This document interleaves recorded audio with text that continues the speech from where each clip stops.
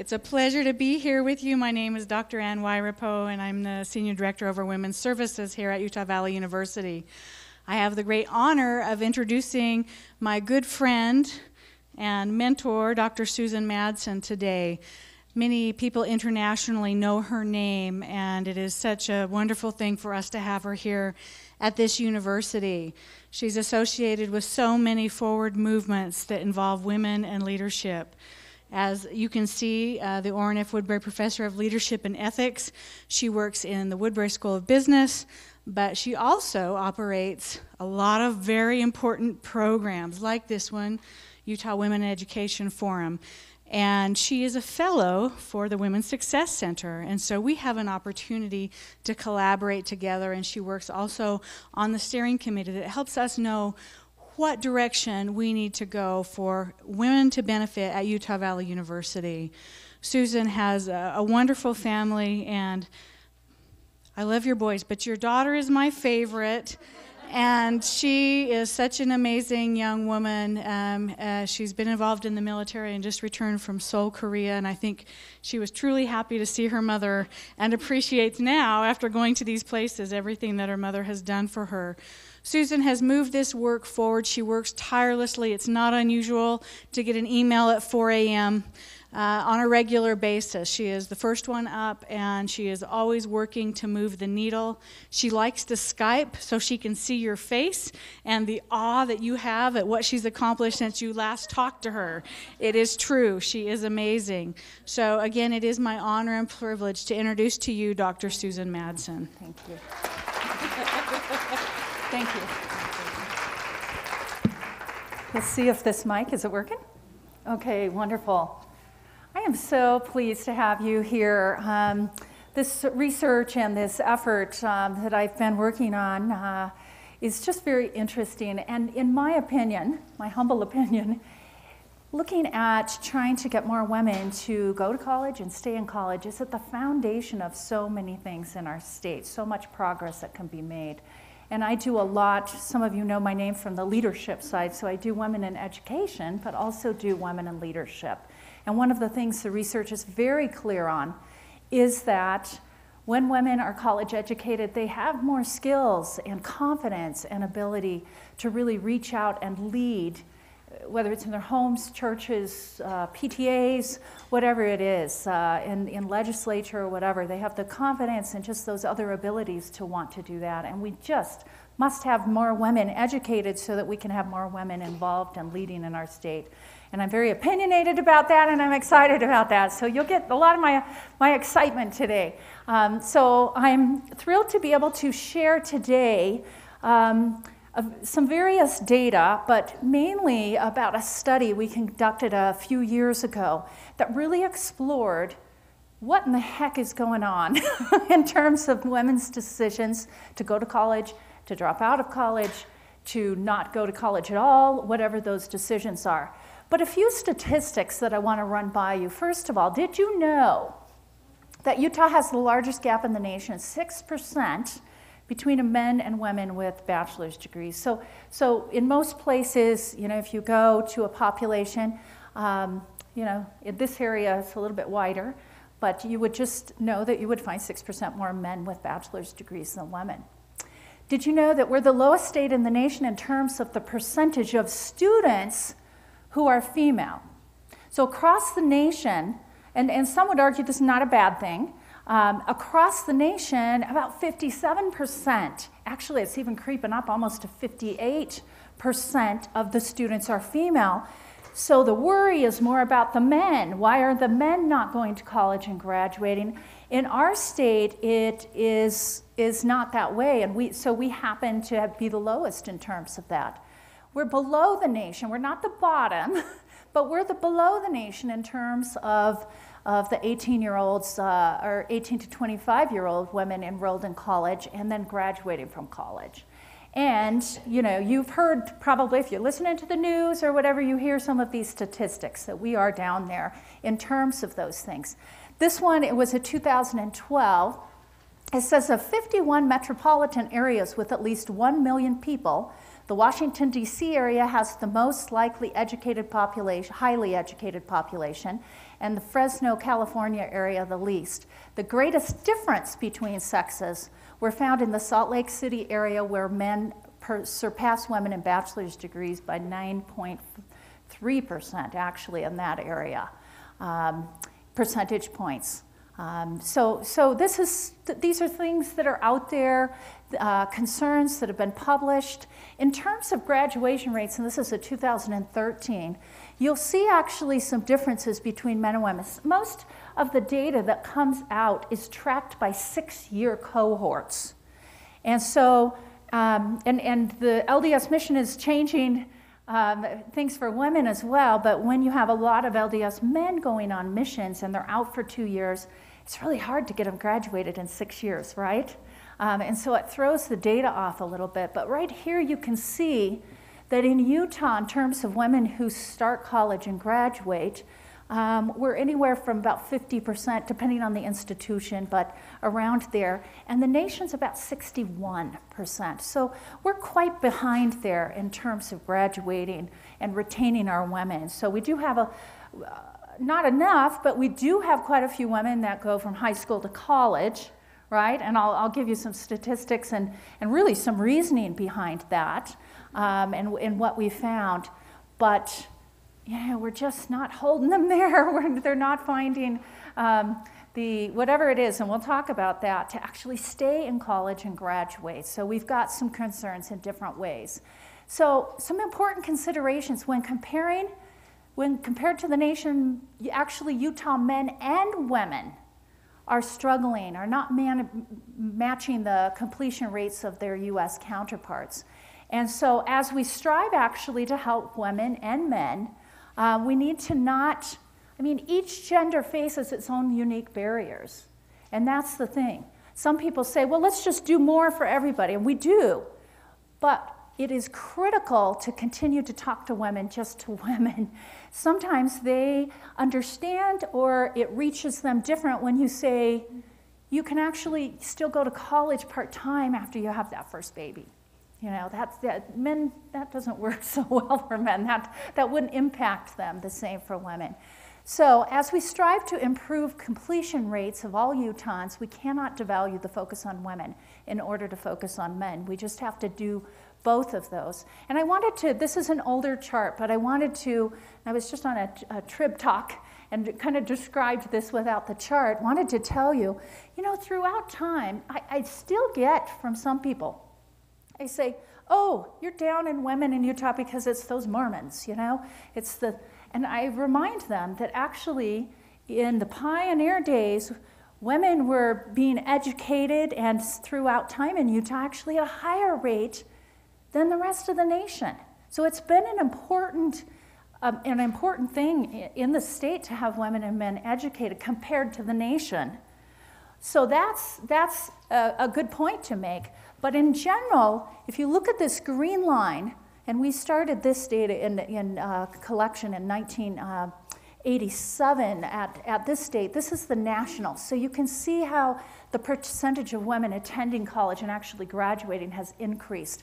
And actually, at that point, here's Utah. So we were above the nation in terms of Utah. And you see about around here, 1991, is when we started tipping down. And not necessarily, let me, let me clarify something, not necessarily women, more women dropping out, but as our population grew, the demographics, are you understanding that the demographics have changed? And then you can see in about 2001 is when the nation surpassed us and we have gone under that and we have not recovered from that. Um, so, and of course, you know some of the media that's been out there recently, right? This one was about two years ago and put us at the bottom at the state of women in, in America in terms of women in leadership, in terms of college graduation, and so forth. We don't love being on these lists. We don't love that.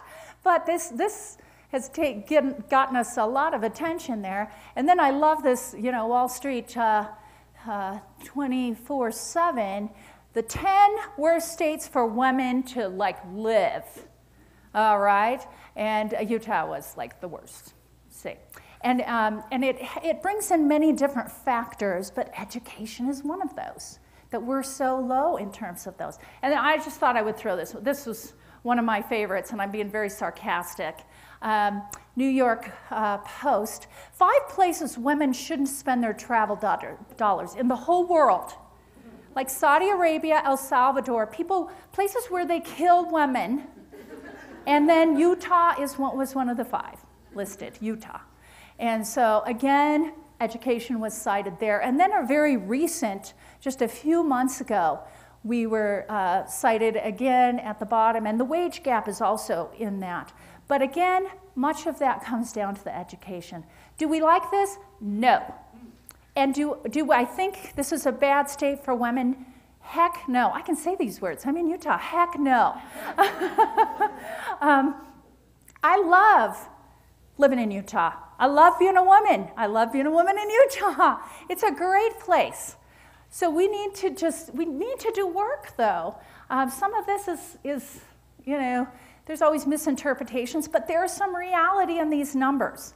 And figuring out how we can help get more girls interested in college, how we can help more young women understand, and then women come back to college is the critical element for all the other pieces that are cited. For the wage gap, for women in management, women in politics in our state, we're very low in terms of that. The research is very clear that the more education women have, the more of these abilities and desires and excitement and passions and energy towards some of these things increase. So, in 2009, I was asked by the um, Commissioner of Higher Education in the state of Utah to do some research and figure out to kind of start a project and a movement and figure out what is going on and how can we understand this a little bit more so we can make changes in the state. So, the purpose of this project that I had started in 2009 was to lead efforts within the state to understand and then help try and motivate more young women, girls and young women and women, to, to go to college and then graduate from college, stay there and graduate. And so, also in 2011, um, I worked with Governor Herbert on a task force that we explored lots of things and were able to work with some real leaders in the state and started the um, Utah Women in Education Initiative, just shifted the project over to initiative, which we still have now. And that initiative is working to increase the number of women holding degrees and certificates to enable them to more effectively contribute, realize their own potential, and influence and contribute to family, family, society, and work contexts, and whatever they choose. Do you notice that language? Uh, because uh, a lot of people, and I'll talk about this more in a minute, a lot of women in my research, what we discovered is they really link getting a college degree to one thing only. What do you think that is? Yes. And if women don't think that they're going to work, and, and do we have a lot of women not working in the state? Actually, we have a lot of women working in the state, and a lot of people that don't think they will do work. Uh, then you can kind of understand those. those. Um, and so, right now, I, I um, we have the initiative going. We have one part time person. Where is Danielle? Can you stand up? So this is Danielle Christensen, and she's, she's working 15 hours a week. We've got a small staff on that. But she is really focusing on our website, and I hope uh, we've got lots of website cards on the table that, that uh, can give you information, and actually cards if you want to distribute those. We've got some packs of cards that you can do, really focusing on absolutely amazing resources on the website. And Danielle is a mover and shaker on social media. And we've got a happening blog if you're interested in doing uh, some writing for the blog, contact her. She's doing social media as well, and then some outreach as well. So that's what we're doing right now. Thank you, Danielle. Um, and so now I want to dive into the study that we did a few years ago. Um, and I know not everybody has heard it, I've spoken to different audiences. Um, and just want to acknowledge the Utah Education Network, they're filming uh, today. And they provide great resources, educational resources to the state of Utah on so many issues and are all over women in education and women in leadership. and uh, are taping so they can distribute um, this to other people in the state of Utah. The more we understand, the better we can be at being influencers and helping not only ourselves become more educated, but helping girls and young women and, and women uh, do so. So, what we did a few years ago was to interview, and we have good data, I'll share lots of good stuff with you, is to interview, um, or we did focus groups, interview like open ended um, on laptops, types, tops, excuse me, on laptops, um, people throughout the entire state. Uh, we were up at Box Elder, we were down at Kanab, Cedar City, different places to really get a feel. And we, and we worked with women from about um, 18 to about 30 and people who had lived in Utah. We wanted to understand some Utah perceptions, some Utah um, you know, experiences of women to figure out what's going on. They're just experiences of being educated and, and making those decisions about educate, education. And so we had about 245 participants, and for a qualitative, this was qualitative and quantitative. For a qualitative study, it's about an hour and a half, but most were around two hours of data. That's a huge sample. I have books where I've interviewed 10 like women governors in the United States, and the whole book is just on 10. So thousands and thousands of pages of coded interviews and statistical analysis um, were put. And so we were able to actually get some great information, good stories, good um, coded things so we could run statistics and figure out what are some relationships and so forth. So I, um, I think you'll be interested in some of this data. So I, I, do, as a researcher, always put up some limitations. So one of the things that we really wanted were, were um, a, a, real diversity uh, in terms of race and ethnicity and in terms of religion. But we had some limitations with that. About 80% we're LDS. So we have a really, and, and by the way, we have some separate studies by people that did, uh, we had some specific data on Polynesian or Pacific Islanders and also Native Americans. So we have a little other data as well. And, um, and most of our sample, you know, we had some minorities in that, but, but much of our data uh, represents Caucasian folks. Um, and again, we have done some other studies that have looked at other populations as well, um, but mostly in this study that I'll talk, to, talk about. So you can see some of those other limitations as well. So today, what I thought I would do is to really focus, and we have so much data, we have tons of data, but I thought, what, what would be most interesting to you? A few ahas here and there that can help you as you become even stronger influences on women and girls moving forward. And thought I would focus on the value of education, some intentions, aspirations. That's my favorite part because we found some really interesting and cool stuff on aspirations that have actually, in the last couple years, changed the conversation in Utah. It's been very rewarding. And then some about values and religion, which I, I love um, that piece, family backgrounds, and some schooling and non schooling kinds of uh, data as well. So, first, let's hit the first one value of education. You know, before I started to even getting the research, designing the studies, I really felt like I should write a brief, which I did in 2010 called The Value of Higher Education for Women in Utah. I'd been around youth. I have youth in my home, actually. They're 20 to 28 now, so they're not. My house stays so clean. It's just, it's like a wonderful phase of life. Sorry, a little bit off the track there, but. Um, but what I really had this gut feeling, maybe one of the variables, one of the issues, is that maybe women don't understand the broad value. All of the reasons you should actually stay in school and get that degree. And so I wrote this brief, and, and that's on our website, and I think if you haven't read that, you would, you would enjoy that. But then we actually did the data collection and the analysis. And what we found was Utah young women do not generally understand what education is for.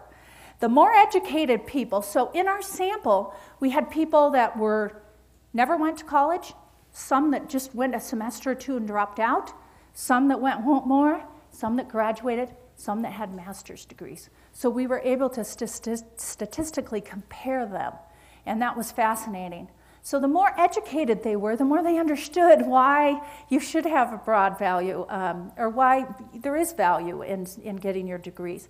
Many of the benefits, actually, that I wrote in my brief were not even mentioned by any of the people. So there's just information that people are not aware of.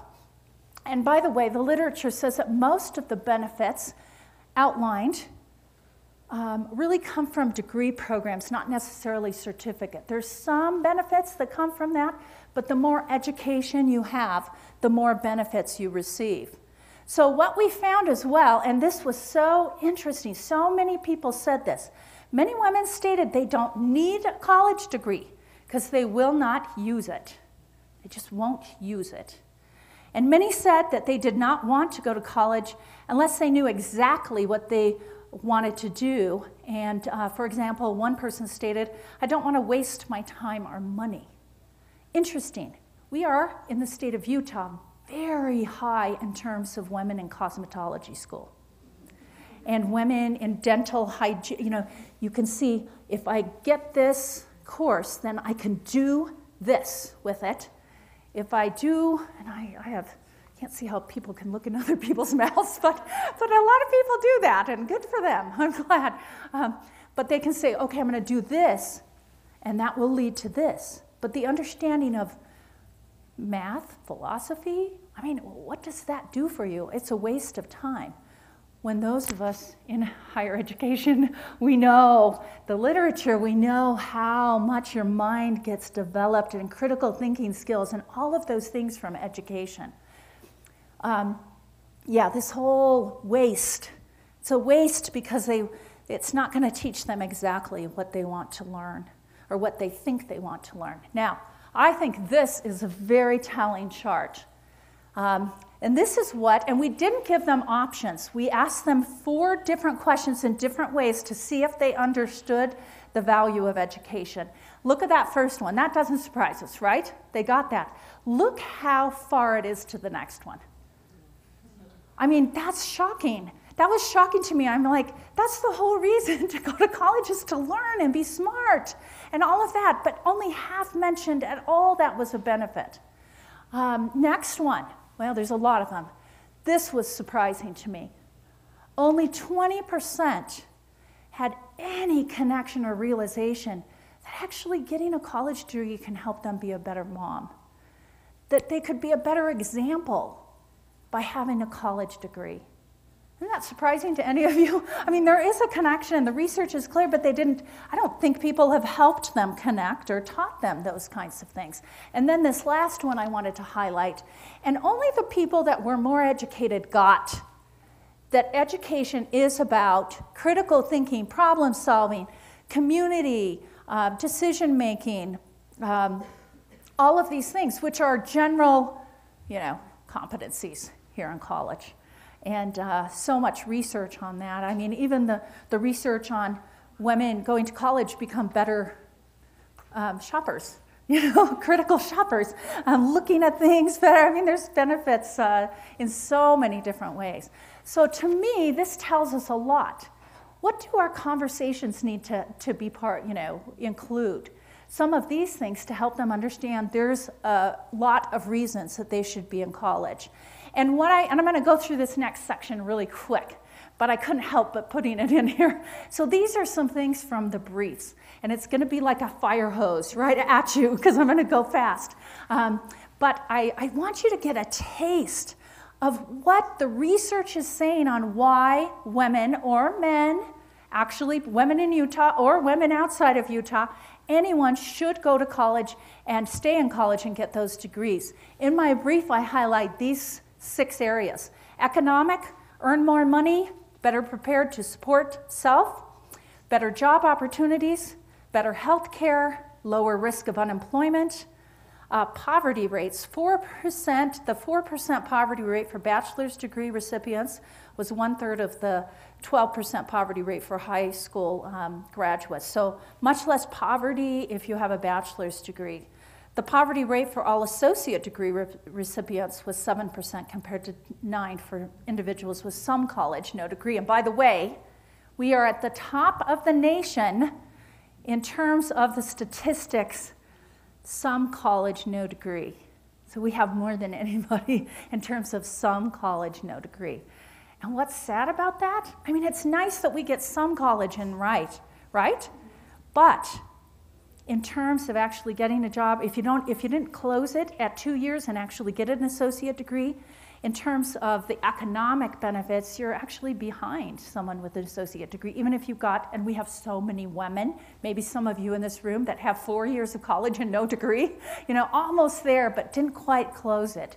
Um, so, so just some good statistics here. Second area, health and well-being. Actually, people with more education live longer lives, have overall healthier lifestyle, lower alcohol abuse, you can see higher fiber, less overweight or obese. My favorite one, I don't have it listed, but you might appreciate this. And, and this is, if I'm irritated at my husband, this is not a benefit. But there's a, a recent study, well, it was about two years ago out of Stanford, that said actually men who are married to more educated women live longer. So.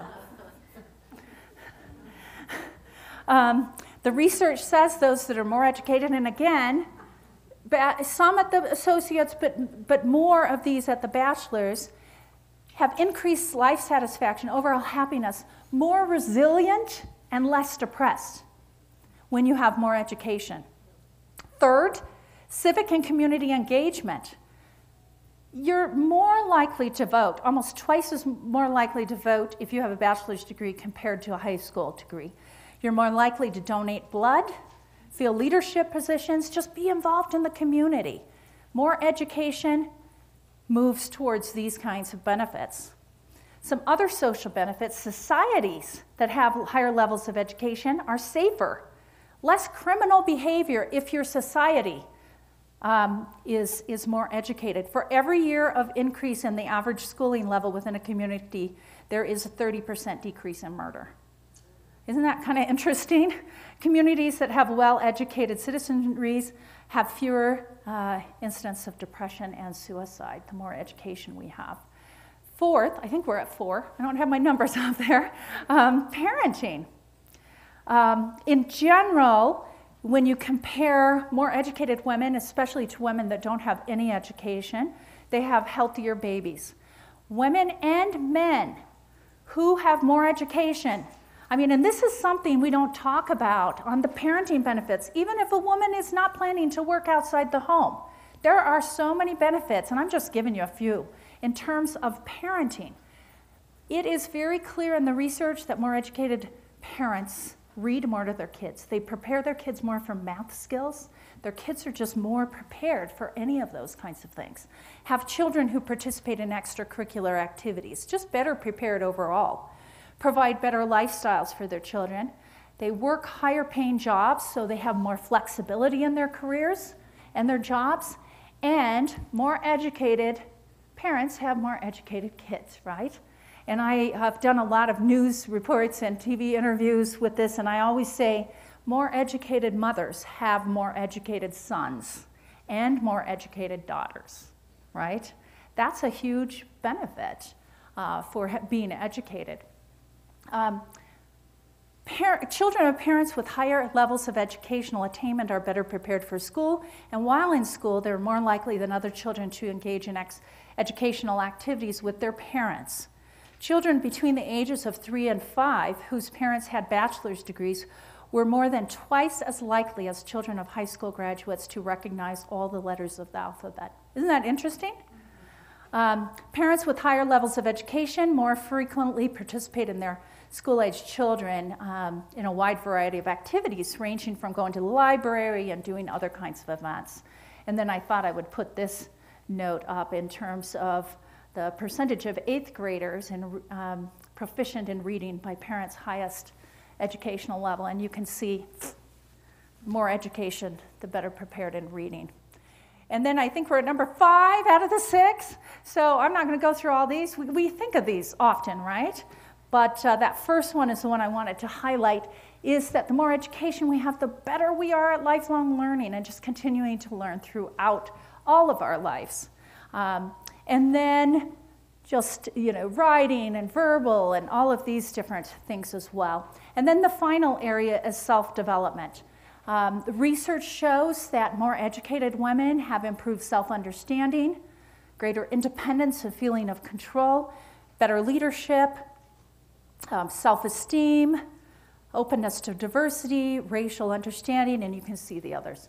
So, again, a little bit of a fast, but I, I, what I'm trying to do is just help you understand because what we found is women don't understand, and not just women, people who influence women, and that are their husbands, their boyfriends, their kids, you know, their parents, whomever.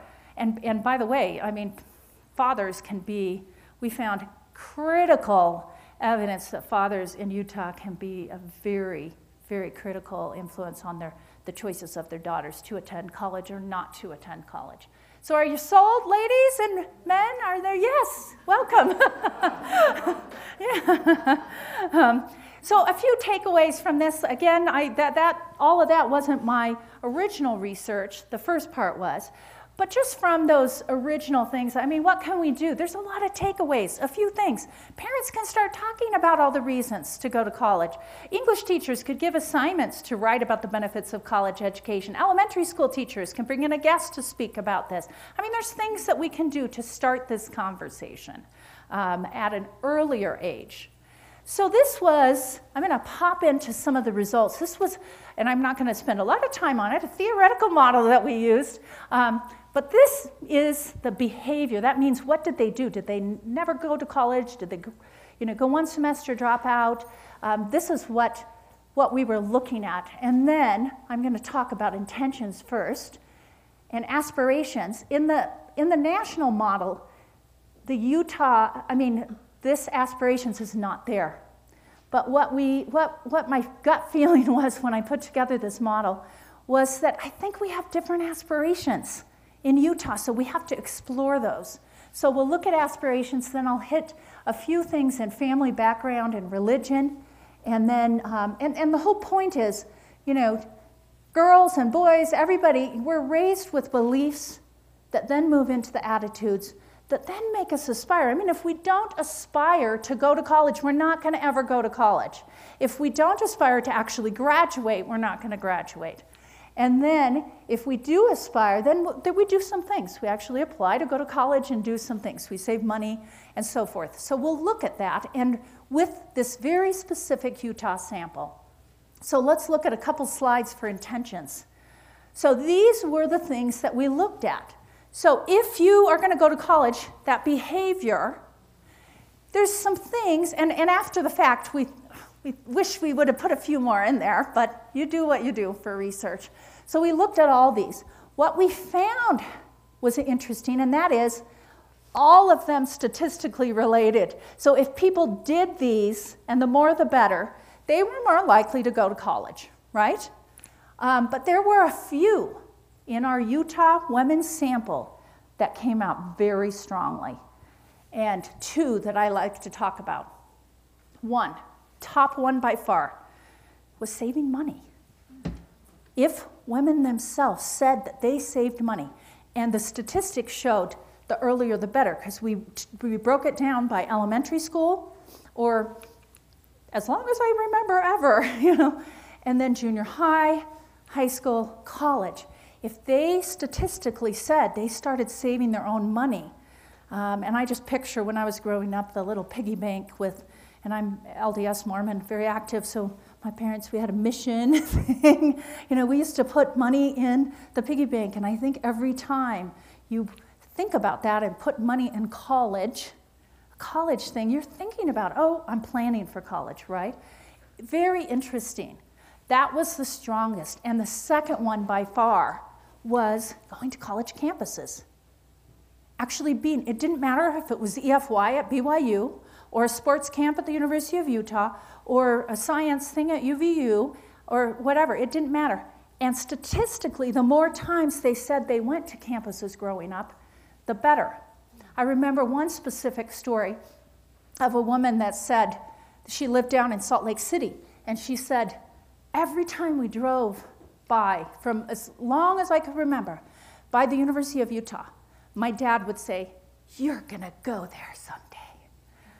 she said, I just always knew because my dad was saying that. And then she talked about her family actually parking sometimes and walking around. Her parents would just let her walk through the buildings. And it's very interesting that, that even if it's sport camps, sports camps, or other things, the more times they visited campuses. And I'll tell you, sometimes if we rely on the school system, have, we have limited funds. Is that a shock to you in our K through 12 system? I know that's shocking to some people, or not. Um, but if, if there's any funding, it typically goes to people at what age? Typically, like seniors or juniors, when the research is saying that fifth and sixth grade is actually some of the best times to get field trips to go to college campuses and younger. So, fascinating. Um, so that's one thing. And this was not a shock. Um, people who took AP courses, math courses, the different kinds of things were the ones more likely to go to college. And we really analyzed the difference in concurrent enrollment with just general, any old class that they could get credits for, or very specific English things that, and that made a difference as well. And so, a few takeaways just from this section is, and this is not, so much of this is not just for girls, raising girls, it's of raising boys too. So helping them find and, and talk about going to college, but actually saving money for college is important. Influential individuals should provide opportunities for girls and young women to visit college campuses. And young women should be encouraged to take these kinds of courses. One of the most innovative things I heard of a couple years ago was uh, one LDS stake group had and took their stake girls camp, which, in my opinion, sometimes in Utah we have girls resorts instead of camps. Sorry, had to say that. Um, but instead of going and camping in tents, they actually drove by shuttles all the girls to southern Utah and they started there. And one day they visited Dixie, and then they camped out the next, then they went to SUU the next day and hit Snow College. And then, isn't that like cool? And they made it all the way up to USU. And I thought, what a great experience. I mean, what a great thing to do. So, all kinds of ideas on, and I'll tell you, some of these things are just small things. And, you know, that, that one was a big thing. that would take a lot of work. But sometimes just having these conversations is really critical. So, let me head into this next area. Again, if you don't even aspire, if our girls don't aspire to go to college, they're not going to go to college. So, how do we deal with that? And a couple of huge findings in this. First one, and this was a very significant finding young women believe that they are being encouraged to go to college or attend, but they're not supposed to graduate from college. Not everyone, but that was a big finding that if they're thinking they're just supposed to go to college, and I remember one specific story about a, a young woman that said, You know, I was always planning on going to college, and I went to SUU for a semester, and that was good. I checked it off my list. I was going to go to college, and I did my college. Um, and that's what she felt like she was being encouraged to do uh, from her perspective. And so to me, this don't you see some takeaways right here? I mean, just in our conversations talking about graduation from college, not just attending, is something that we can do with our own children, our grandchildren, or people around us in church settings or whatever, uh, many settings. This also was so interesting. All but three said that getting education is, more, is important and wonderful. And in the data, they had laptops and they were telling us stories, and we, I was there physically with a lot of these too, kind of directing them and they would give little pep talks. Go to college, it's good. And then we'd look at their demographics and they dropped out after a semester. So they were like saying that it was good, but a lack of urgency. Someday, I don't need to go right after high school. It'll happen someday. What do we know? What do we know? I'm looking at some people that work in the Women's Success Center and they know. Um, and some people would say, well, after my kids are all in school, after, you know, whatever that is. What do we know from the statistics? Do the women come back? Very few, and a lot of times, I'm singing to the choir in terms of many of you. The situation is divorce, abuse, real desperation by the time they come back. There are other, you know, there's always situations where that's not the case. Um, but there's this, oh, life will be fine and I will take care of it sometime. Nearly all women who did not attend or dropped out truly believed they would get their degrees in the future, truly believed that. And so we put some quantitative questions. Are you going to get your degree? 90% said yes. What level? This is looking good, right? This is looking strong. But then we asked them a couple of open ended questions. So, what's your plan for the next five years? Or when, you know? And only 50% had any mention of even associate degrees. It was like, yeah, that sounds good, I'm going to do it, but do I have a plan? No. I haven't really thought about that, especially when it relates to what period of their life? When they're pregnant with their first baby. They haven't really thought any, you know, what happens after that. Not a real plan after that. One other piece in this area, and then I'll get to the next one. The younger the conversation started, um, and a girl decided, made the decision uh, to attend college, the more likely she was to have, uh, have a higher commitment to attend, all of these different things, saved money. So, what the point was is the younger the conversation started between parents and other people, aunts and uncles, whoever was talking, grandparents, and we, we looked again at elementary school and younger, you know, junior high, high school the younger, the more statistically likely uh, when they said, I started talking, you know, when I was in kindergarten or first grade, I remember always talking about this. The likelihood that they were with the ones graduated was very, very high. So let me flip back and talk a little bit about family backgrounds and values, because those things are the start of what lead us to those aspirations, intentions, and the choices that we make to go to college, to stay in college and graduate, or not to even go to college at all. So let's hit the religion piece. These are three questions we asked. What does your religion teach you about continuing your education after high school? What messages do you think are given from your top church leaders? And about 80%, by the way, were LDS people, so we got a lot of good data in this. Interestingly, the people that were not LDS basically said to us our churches, if they were active, don't really talk about education. So the data that we did get really was from the LDS population. And then the third one do your local church leaders talk to you about your education? If so, what do you think they are encouraging you to do? And like I said, I happen to be LDS myself, very active, but I had a couple researchers on my team who were not. And so we had different people looking at the data from our religious backgrounds, which was important as a researcher to do that. But you can see I was really trying to, when I designed these questions, dig down and see. I mean, the whole point is let's figure out what who, what the influences are and where are those messages coming so that we can understand how to maybe change those messages to better benefit uh, women, girls, and women. So, first one what does your te- religion teach you? And again, mostly LDS in this piece. Look how many said very important. That's a lot. Um, some moderately important. You can see that list. So that was interesting. My husband, when I started dating, uh, dating not that. Uh, my husband, um, that was a long time ago. Um, my husband, when I started looking at this data, would it took me a couple weeks just to do this section. He kept coming in my office. What are you finding? he was like so interested.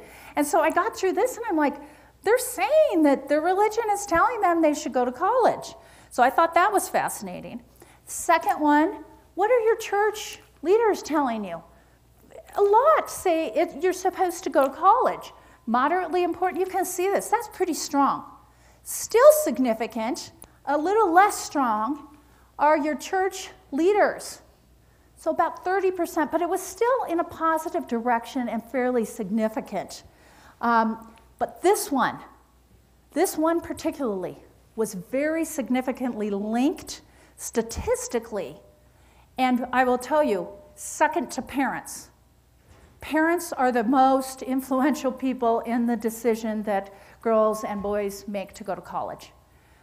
But our statistics showed that church leaders, and in the LDS sample, it was bishops were mentioned and young women leaders. Those were the two that were mentioned to make the big difference.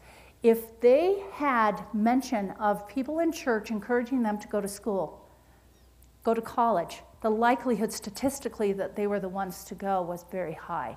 That was a surprise to me. And then what does that tell us? Ah, we should talk about college in our religion, religious settings. We should talk about it a lot in our religious settings. Um, so a few findings. So so all of that kind of looked good, and we were thinking. So what are some of the issues? So here's a few other ones. Some say if they were actually, isn't this first one interesting? Some say if they were actually more active in the LDS faith, they would have probably have attended college. I thought that was interesting. We had many of those. Many talked of the importance of attending college but not graduating. So that really came out of the LDS sample. And this urgency that I just talked about, not feeling the urgency. And this one is the one that drives me crazy. Marriage, or sometimes when the, a child is born, is the end of college for many women. Many believe that women need to give up or sacrifice their college for the family. It is their duty to drop out of school that was very widespread. And my passion, my, my is we need to totally flip that around. That it's your duty as a good mother to actually be an educated mother. It's your duty to do that for your children, for your family. And that's, I think, the message. I mean, that to be truly self reliant, um, you know, should I say it or not? No, I'll say it. Wheat will just last you so long. okay. A good education with both. And, and how many, you know, we don't have perfect families with what, what people, some people would say a perfect, you know, husband and wife. We have so many single parents and different kinds of family situations. Um, so that is, don't you think that's interesting? So that's good to document that because it helps us understand how to move forward. And then this one was a really big finding too. They cannot see a situation where they can be married, have children, and continue college. It is all or nothing. They cannot see a life of integration. And what we found is, you know, they're in high school and everything's about high school. Then they're in college and everything's about college. And then they get married, and, and especially at that first baby, then that's all they're supposed to do. What we didn't find in the data were things like maybe I can go online. Maybe I can go one evening a week. Maybe my husband can watch the kids and I can go, we didn't find that. It was like, oh, I got to quit.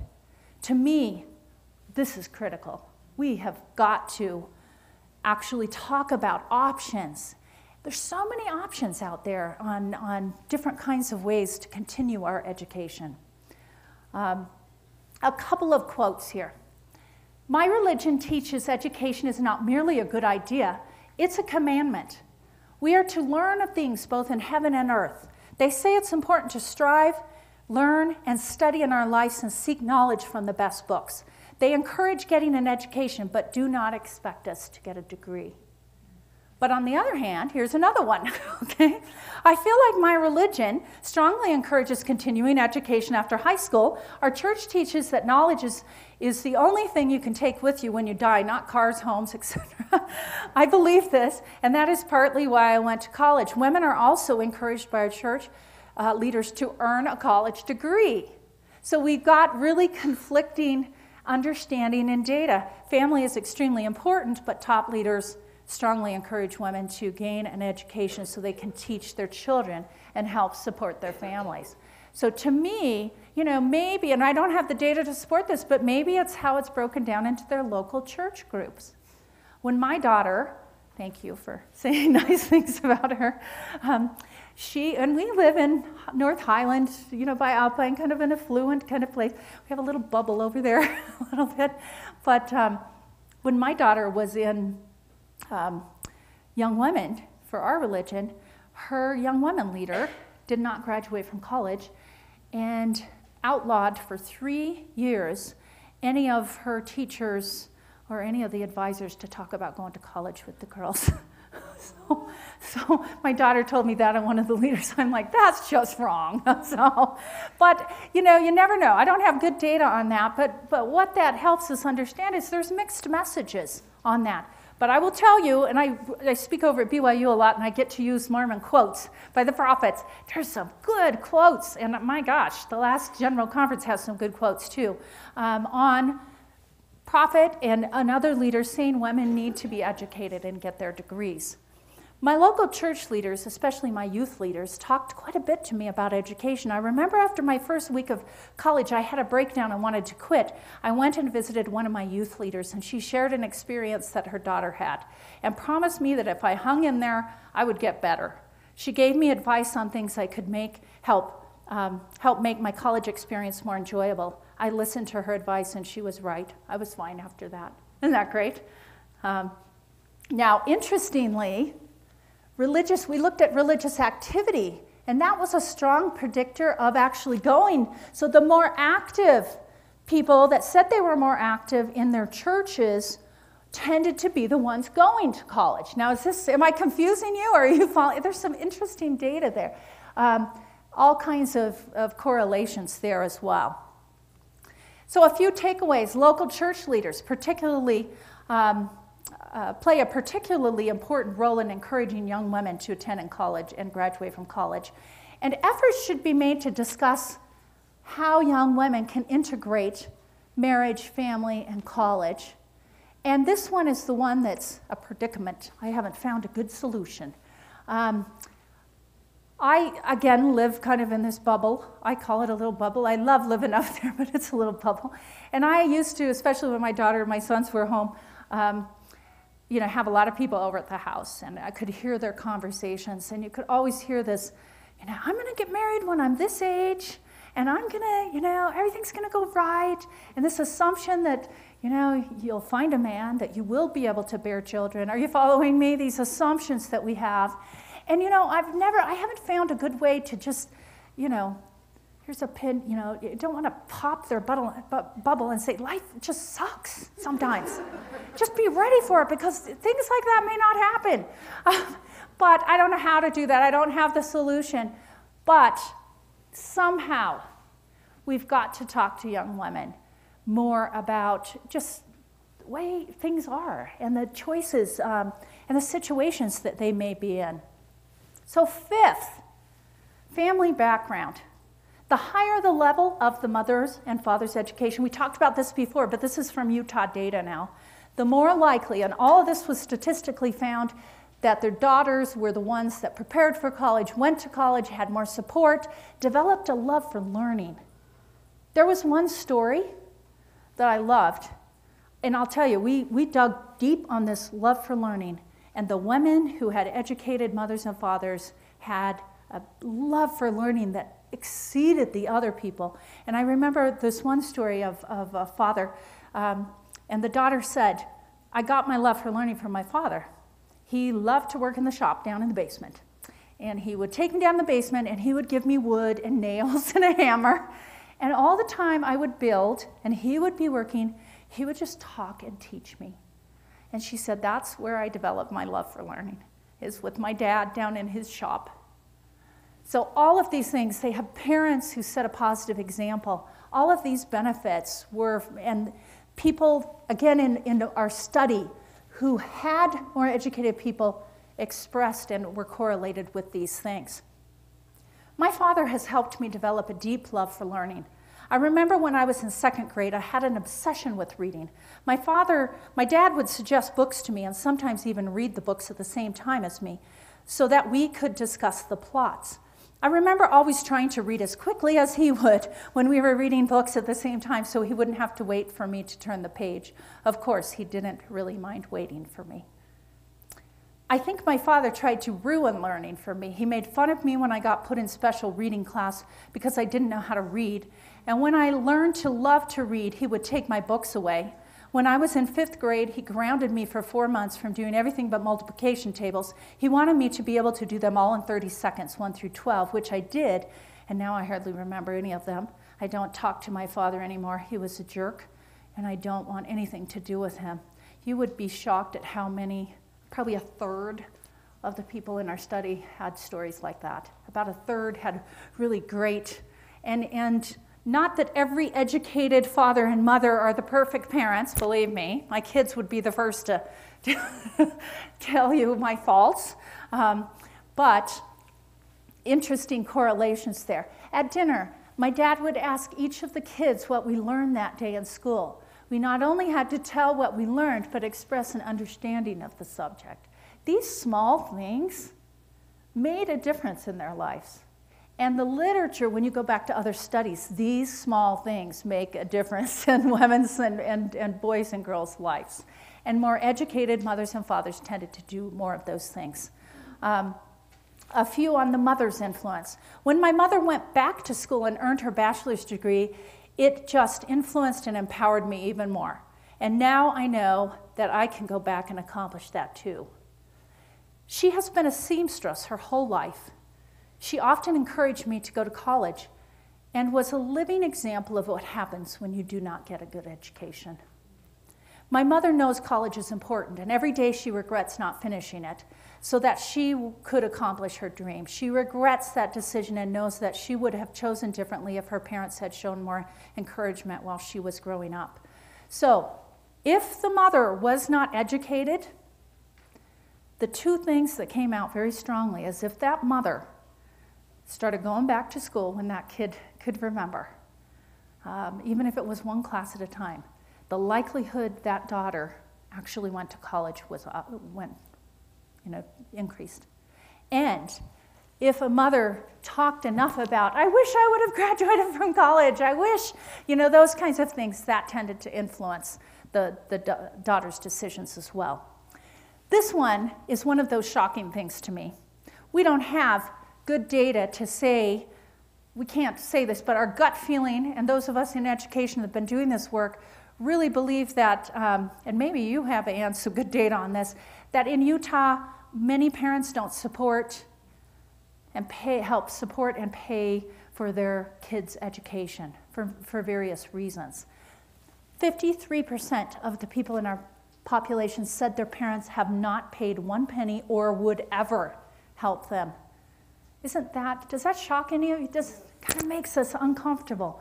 Um, and so, and, and I remember when I talked about how important it is for a girl to save her own money we need to do more at helping parents and grandparents. Olene Walker, who's a wonderful, you all probably know her name, she will be the first to say grandparents need to get an educational, wait, what is it, Utah Education Savings Plan for their grandkids. Um, parents need to, and education, of course, is more expensive. In Utah, it's cheaper, but it is expensive when you get all of the books and stuff. And I don't know, when we say, when I was at BYU years ago, I paid my own way through college, do we say that? And then parents say to their kids, what? So you can do the same. I have students who are working so hard and can barely get time, and they're still going in debt 10,000, 20,000, 30,000. I mean, I think we've seen people up to 50,000 for an undergraduate degree. So parents don't think that we're coddling our little children by helping fund their college. Um, we need to look at this and support. And interestingly, even people that said, my parents didn't have a lot of money, but they, I get like teary eyed sometimes when I remember these stories, but they, my mother worked, you know, extra hours and gave me $250 every semester. And he said that just made a difference, 250 that would buy a book or two. but, but it was something. It was something to encourage them. Something. And that meant a lot to them. I have always known that there is absolutely no way my parents can pay for college. It's up to me and good old financial aid. I have never even brought it up because it is something that is already answered by a financial aid situation. Um, my dad even told me that he would help pay after I got married to be sure that I would finish. We do have these things in Utah that a lot of parents say will help you until you get married, and then it's like actually, that's when you really need the help even more. So, we've got some habits, some thinking that we need to help others understand, even the parents, not just the girls, even the parents and the grandparents as well. And then let's go to a few attitudes, right? Are you following? Are you awake? Are you with me? okay. I know this is like some deep stuff, but to me, it's changed the way that I influence. It's changed the way that I interact. I know certain things are more important now. And I've seen lives change just by little old me mentioning little old things here and there that, that maybe don't even take a lot of time. But when we understand these, our influence really can be expanded. And when we understand uh, what we can do, even the small things, it can happen even more. So I'm not going to go through all these. I've just picked a few, but but um, I do have summaries of all of the. I have 12 snapshots, and they're all on the website. They're just front and back page. One's on the influence of a father, counselors, different people. They have pictures and bullets. they're not not tense, but they're they're on the website that you can look at. So I, I won't go through all these. Just a few. Interestingly, when we looked in the qualitative data and said, what did you do in high school that made a difference? By far, the first two. SELPs or parent teacher conferences were like, eh, they don't make a big difference. All things down here. Career fairs, when, when colleges or, or businesses came into the high school, that was number one. And then does number two look familiar? Getting on college campuses. You can see those other things as well. I couldn't help but put this one in there because I'm a leadership person. That's what I love. So we looked at all their leadership roles between 9th and 12th grade. The most significant finding, by far, was none.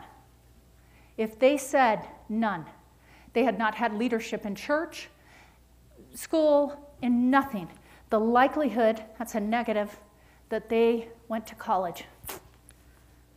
If they even had one role to shine, be a leader, be a secretary of something, whatever.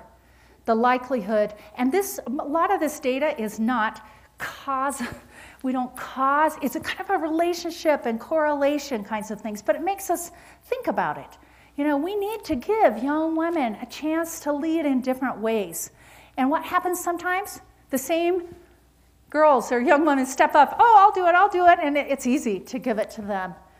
But, uh, and then if, if they don't have an outgoing personality, sometimes they, they kind of get, they just don't have those opportunities. So, a few takeaways schools can host college fairs, provide opportunities for students to take field trips.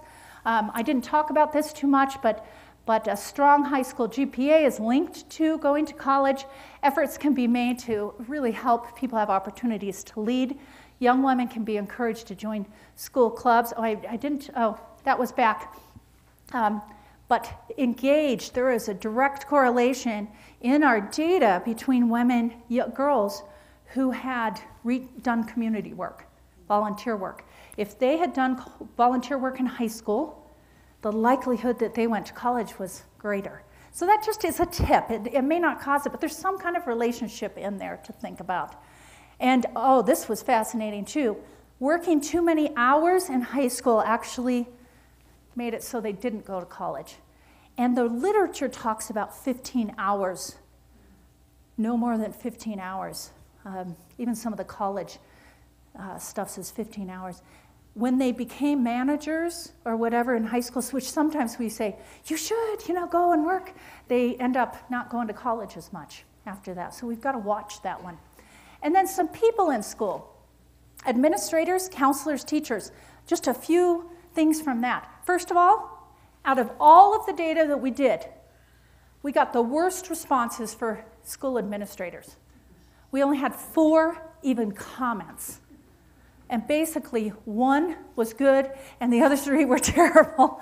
And basically, our principals and, and, assistant principals in high school are not being very helpful, is what we realized. Um, and I won't read all of this, but um, not a lot of administrators had interest in my education. My assistant principal uh, told me that I basically couldn't be a teacher someday because it was a very difficult job. There was one good one, though, so up here. Um, but um, in terms of the counselor, so to me, I'm going to go back to that administrator. Um, sometimes we think, we hear the word mentor and we think, oh, that takes so much time. But what we found in the data was that sometimes it's in the moments. Sometimes, and do principals and assistant principals and people, do they have moments? I mean, are they walking down the hall with some? What we found was sometimes just those moments can make a difference. So my answer is yes, principals can do better. And, we, and I've, I've presented to some uh, administrators throughout the state as well. In terms of counselors, about a third were really good influences, about a third, and we found the same in teaching, and we had some that were just of no influence at all. The counselor in high school talked about my goals for college with my mom there. He asked what I wanted to be, and I told him a veterinarian. He then pulled up my grades, 3.4, and told me I should not waste my time being a veterinarian because I did not have the grades for it. That was devastating to hear, and I believed him. The most influential person at school was a teacher I had. He told me that I could go to any college I wanted, and they would be lucky to have me. He really motivated me to do well in school and reach my potential. I didn't really have anyone talk to me about college. I had a teacher who was really influential. She wanted us to go and learn so much. I felt like it was her passion to teach us and let us know what we could have. I loved her because she cared so much for us. And you know what? I will tell you, we did a focus group with 20 young women in Kanab. I'm going to get all teary eyed. There is one flippin' amazing woman in Kanab because every one of those young women mentioned the same person as being the most influential in, her, in their lives. I mean, it was the same name. Isn't that amazing? For 20 people to come, it was one teacher that just hit girl after girl and made her feel valued. It was amazing to, to analyze that data. You can see when I'm, I'm sitting at my computer for hundreds of hours, just crying about all these stories. Like, this sucks. Oh, that's wonderful. You know, whatever, whatever it was. Um, the worst part of high school was when I had more than one teacher tell me that I could never go anywhere in life, never amount to anything, and never succeed. I know they say sticks and stones will break your bones, but words will never hurt you. Well, they do. And they really hurt me. It took a, while to shake off those hurtful things that uh, were said to me, but I powered through everything and ended up getting super good grades my junior and senior year. A career counselor I remember uh, was in junior high, and they asked me what I wanted to be when I grew up, and I said a dancer. I'd never danced a day in my life, and they wrote it down and put me in classes to help me get there, PE. the next year, I switched to zoology, so they put me in science classes, much more up my alley. But really, what was I supposed to know about careers at 13 and 14? Yikes, a dancer? um, I was a statistician for the wrestling coach who was also my English teacher. He was another great influence on me. During my MATC schooling, my senior year, we had to prepare a career packet, which consisted of a resume and a referral letter from an adult. He was um, obliged to provide me the, le- the letter for me, and after reading it, I realized how much confidence he had in my abilities to learn and be a wonderful contributor to society. This one letter provided me with the confidence and self worth I had been struggling to find for years. Isn't that amazing? I mean, over and over, we found that these simple conversations and these influencers were the most important of anything else that happened. It was the individual connections with people that changed their lives, people who took the time. And you know what? I do things differently because of this research.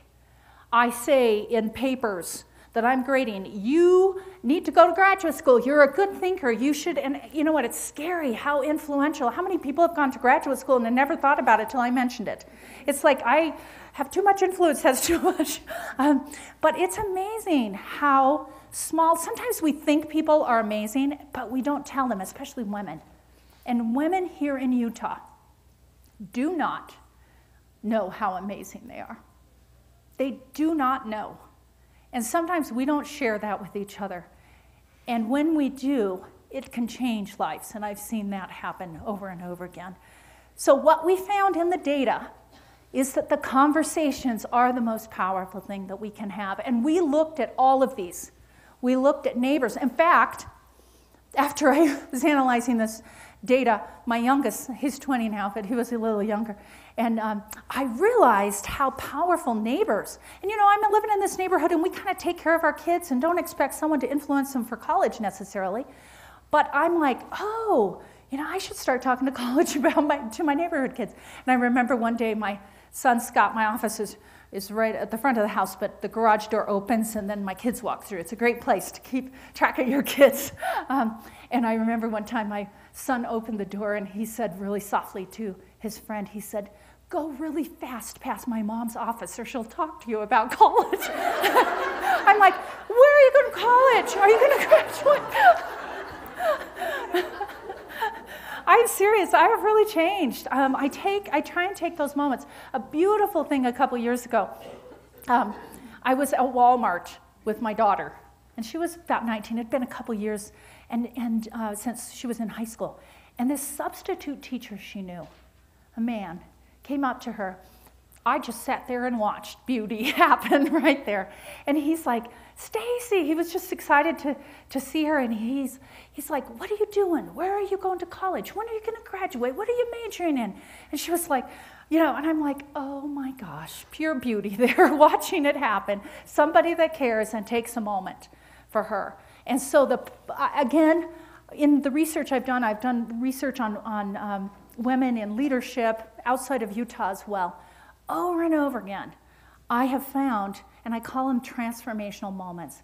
That these deeper, longer relationships are great and they're the best.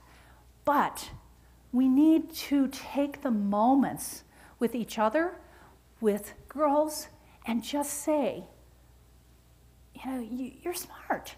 You can do this. You can go to college. You can graduate.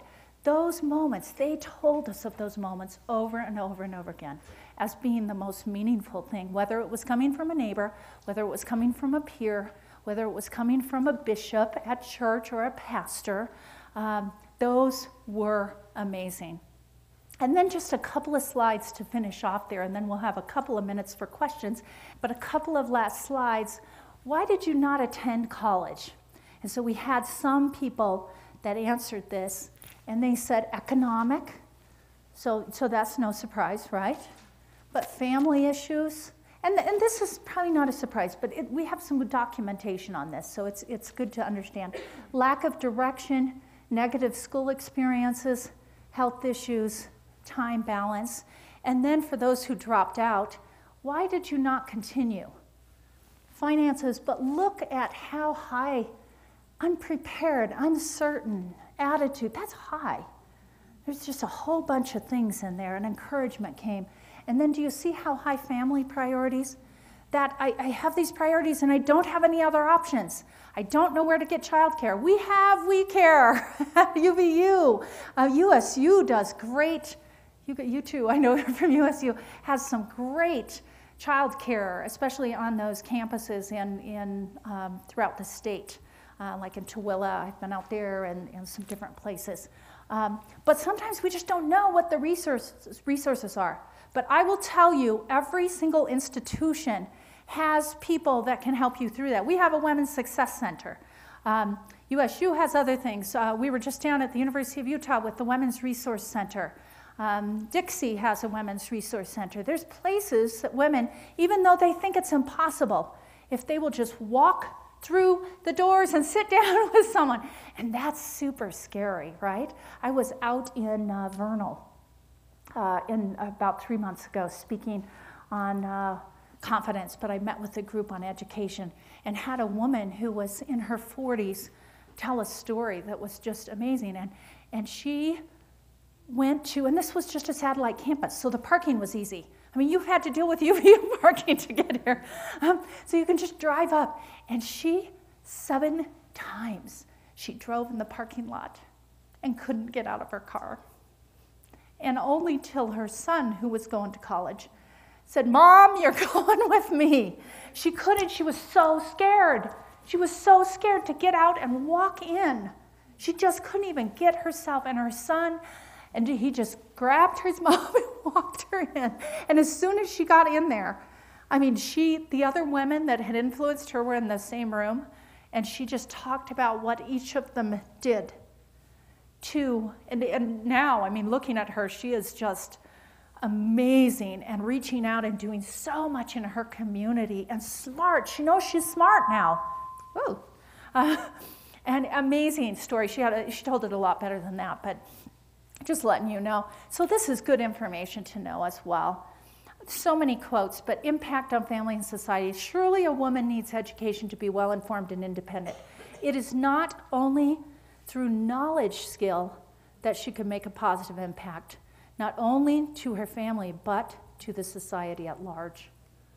And then, so as we conclude, you know, taking action, a couple of things uh, for the work that, that I'm doing and then I love, And just, you got to just work your magic. And that, that just means you, you just work your networks and influence others and help them understand. But one, I would really encourage you, data and, and knowledge and understanding is powerful when we know what's out there and what the research says. So I would encourage you to read the briefs that we have online. We actually have cards that give you the website and the blogs and different things, but we also brought some stacks of 50 cards for you. I would, um, and Bonnie, where's Bonnie? Bonnie's out there. Bonnie, she, thank you, Bonnie. She has brought, she lugged over a bunch, but Bonnie has done all the logistics for this event too. So thank you, Bonnie. Appreciate that. Um, so there's stacks, and you are welcome if you have people that, that you want to distribute those uh, information packets to, um, and, and really it gives you information about online. And review the online resources. We have great video clips for girls and I mean just short little clips that are fun and other resources online for parents at home, for K through 12, for college people. Join the blog and other social media. Just be informed. And Anne, who did the wonderful introduction, thank you so much. Um, her website has, and they've got a table out there as well, has excellent resources as well and a list serve. Just getting that information can help. But then again, it's you. I mean, we can only do a certain amount. It's you in your classes, in you know, in with your own students, with your kids at home, with your grandkids. I don't care who. Um, but do something and help other people understand. I do believe that we can, and I think we're getting closer and closer. I feel this energy in the women in leadership. I mean, just in the last year or two, there's just some new energy that there's hope and there's things, and we, are getting why women need to be educated and have voice. And let's, let's just build off this energy to help more girls and women uh, become, you know, really be, become who they can really uh, have the potential to become. And so, in conclusion, formal post secondary education is a critical foundation for girls, Utah girls and women of all ages, so that they can fully develop themselves toward reaching their inherent potential. And all of us can assist in some way to help more young women do just that. Thank you so much.